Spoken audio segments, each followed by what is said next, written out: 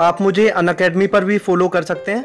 वहाँ जाकर हरबीर सिंह सर्च करें। थैंक यू नमस्कार साथियों, मैं हरबीर सिंह, आपके अपने study channel learn easy with Harbir Singh में आप सभी का स्वागत करता हूँ। तो गाइस काफ़ी फ्रेंड्स के मेरे पास मैसेज आ रहे थे कि जो क्वालिफाइंग क्राइटेरिया क्या है डीएसएसपी का। तो मैं आपको सबसे पहले बता देता हूँ कि जैसा और अदर जो बोर्ड्स हैं, उनमें होता है, ऐसा डीएसएसबी में बिल्कुल नहीं है। जैसे होता है कि कट ऑफ़ बहुत नीचे भी जा सकती है। इसमें क्या है कि सबसे पहले इन्होंने अपने क्वालिफाइंग क्राइटेरिया बना रखा है कि सबसे पहले हमें इतने मार्क्स चाहिए। अगर इससे ऊपर आपके होते हैं तो आप उस फाइट में हैं।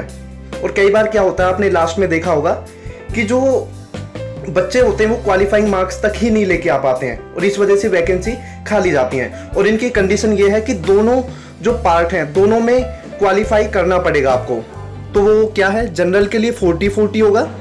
ओबीसी के लिए थर्टी फाइव थर्टी फाइव दोनों में। अगर एक में भी एक नंबर भी कम रह जाता है पॉइंट में भी नंबर कम रह जाते हैं तो वो क्वालिफाई नहीं कर पाएगा। एस सी एस टी के लिए कितना होगा? थर्टी थर्टी मार्क्स होंगे। अब क्वेश्चन है कि क्या अदर स्टेट के जो ओ बी सी हैं एस सी हैं एस टी हैं, क्या वो काउंट होंगे? क्या उनको छूट मिलेगी दिल्ली में? तो मैं आपको बता देता हूँ कि जो जनरल हैं जनरल का तो आपको पता है फोर्टी फोर्टी उनको लेनी है। इसके बाद जो ओबीसी हैं, सिर्फ़ वो दिल्ली के ही काउंट होंगे। दिल्ली के ओबीसी ही काउंट होंगे ओबीसी में।